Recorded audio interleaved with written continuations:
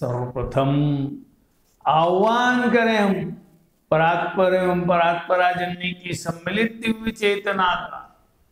अवतरित होकर वर्तमान में परात्पर के प्रतिनिधि स्वरूप प्रादुर्भूत हुए महायोगी, महर्षि अरविंद द्वारा विरचित सावित्री, महाकाव्य के book one, canto four the secret knowledge बावनवें पृष्ठ की दसवीं पंक्ति पर बत्तीसवें इंस्टॉलमेंट में हमारी चेतना को अपनी चेतना के साथ रखकर ऊर्ध्वारोहण कराएँ, ताकि रखे गए भाव को विचारणा को, मंत्रों को, सूत्रों को प्रकट होने पर हम ठीक ठीक देख सके, जान सके, सीख सके, समझ सके।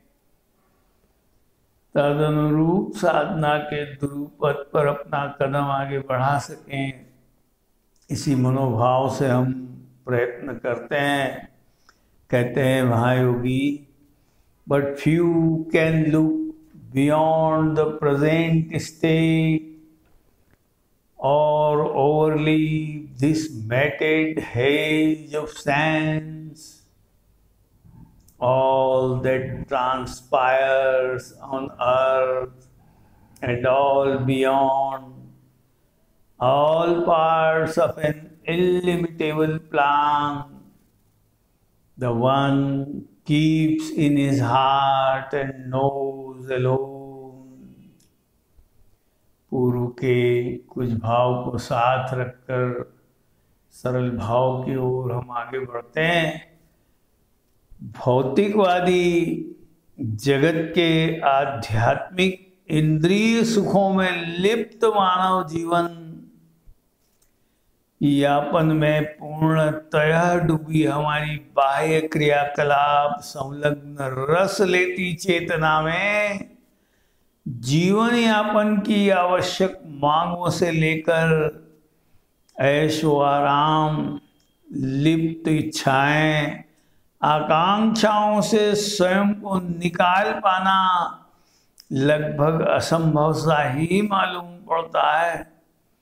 केवल वर्तमान जीवन को श्रेष्ठता से बाह्य इंद्रियगत आनंदों के मध्य कैसे जिया जाए, बस इसी के लिए पूर्णतः हमारी वृत्ति बाह्य क्रियाकलापों में अत्यंत व्यस्त रहती है।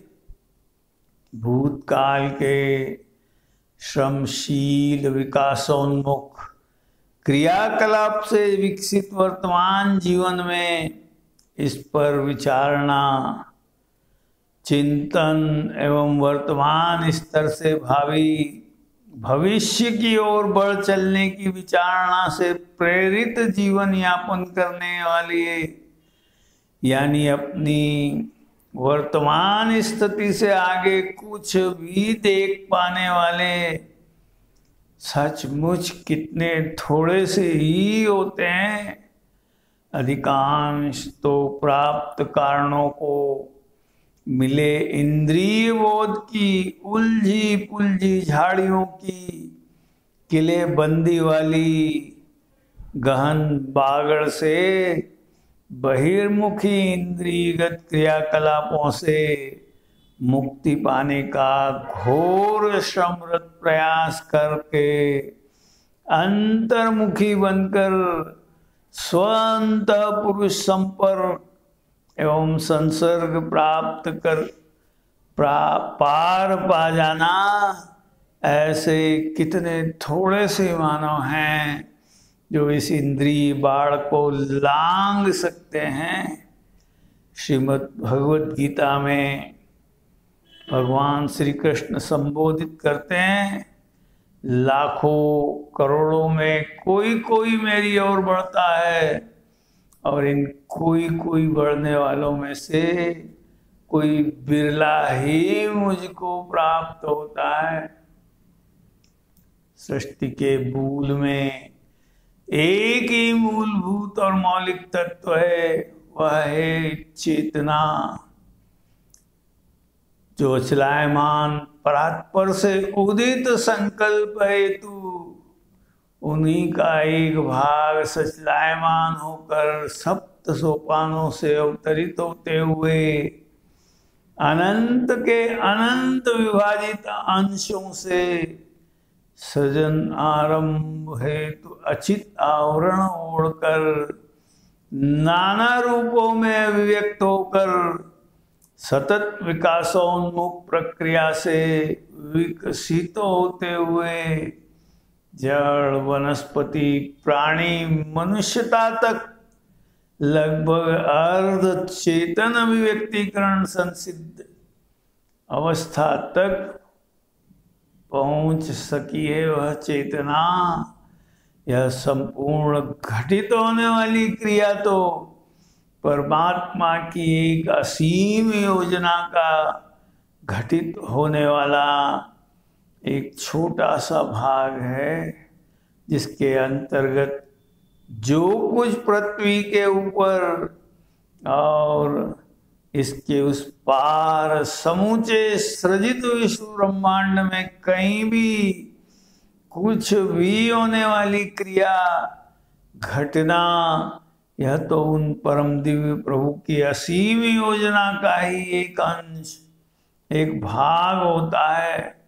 इस समूची घटित होने वाली, क्षणिक या युगो युगो तक की घटित होने वाली प्रक्रिया का संपूर्ण लेखा जोखा सृजन एवं अभिव्यक्तिकरण की योजना का मूल प्रारूप ब्लूप्रिंट जिसको वह एकम स्वयं के अंतर में रखता और वही समस्त सत्य तथ्यों को अकेला जानता भी है।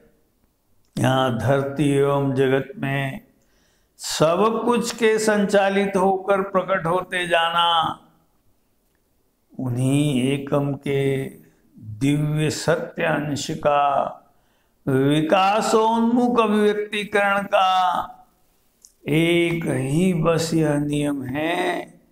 अन्य कुछ भी नहीं। आज हम इस सारगर्भित विषय को यही विराम देते हैं। आह्वान पर अवतरित हुई परात्पर एवं परात्परा जननी की सम्मिलित दिव्य चेतना इन पर आरूढ़ होकर हमने सावित्री महाकाव्य के दिव्य सूत्रों, मंत्रों को प्रकट होने पर देखा, सीखा, समझा, जाना, प्रकट हुई। अवतरित दिव्य चेतना से हम निवेदन करें, प्रकट हुई ज्ञान विज्ञान को हमारी सत्ता के स्तरों में उचित स्थान प्रदान कराएँ, ताकि जब जब साधना के दुरूपद पर हमें इस ज्ञान की विज्ञान की आवश्यकता हो, तब तब यह ज्ञान विज्ञान जागृत होकर साधना के दुरूपद पर हमारा नेतृत्व कराए। इसी मनोभाव से हम कुछ पलों के लिए ध्यान की गहराई में प्रवेश कर जाएँ। सचेतन, सावधान, सावचेत बने रहे। भागवत क्रिया हमारी सत्ता के स्तर पर संपन्न होने जा रही